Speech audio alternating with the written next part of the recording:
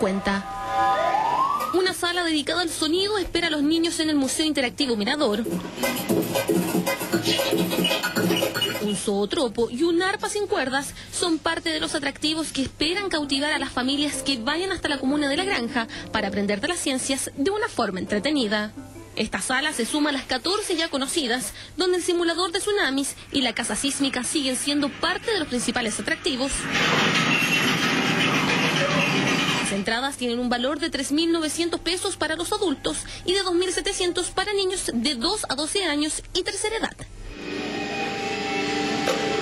Clases de zumba, karate y buceo son algunas